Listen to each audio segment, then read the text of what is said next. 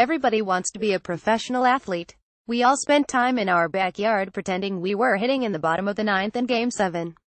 Most fans of any sport became fans by envisioning themselves wearing the uniform of their team.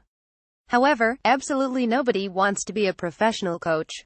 Coaching a professional sports team is to put yourself at the center of a pressure cooker, where you'll almost always receive more blame than you deserve for the slightest on-field mishap, much less a major mistake, like leaving in a reliever to face one too many batters.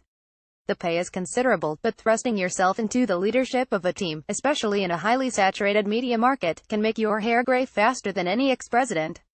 Joe Girardi, of course, was informed last week that he will not be returning as manager of the New York Yankees. This means the team finds themselves in a rather unusual position in recent history hiring a new manager. George Steinbrenner made his name partially for being a reactive, impulsive owner and firing managers without much thought.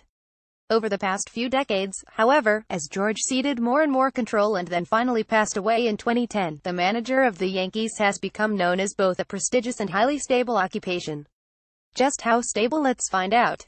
I'm a millennial, and so part of that involves not caring about anything that happened before the early 90s.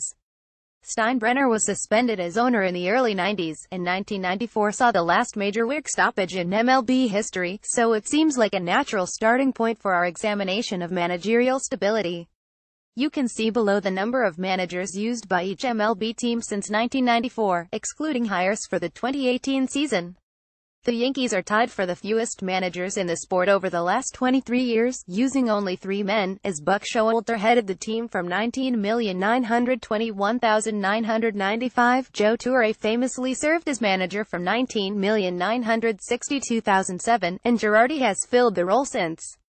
Obviously the Yankees are beneficiaries of their own success, as winning teams tend to require fewer managers, but even the Boston Red Sox and Detroit Tigers, relatively successful organizations in the new millennium, have seen notable managerial turnover. A particular source of turnover can be friction between the field manager and front office, and certainly teams with more unstable FOS tend to have more problems retaining managers. The Toronto Blue Jays and Miami Marlins have both experienced volatile ownership and administrative histories since 1994, and a symptom of that is their high number of managers since. One of the guidelines for Brian Cashman's decision will be the production of a positive rapport between manager and GM, so you can expect a new manager won't be named unless a solid relationship has already been built. This gives a new manager an effective head start over those in more unstable regimes, and probably gives him a longer leash as well. Another perceived issue with managers is the media spotlight, especially in a white-hot market like New York.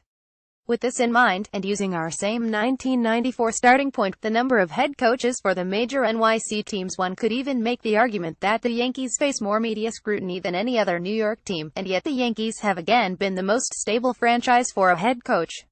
The new Yankees manager will face challenges, starting with overhyped expectations. The 2017 squad was the best team the Yankees have fielded in years, maybe even since the 2009 World Series team.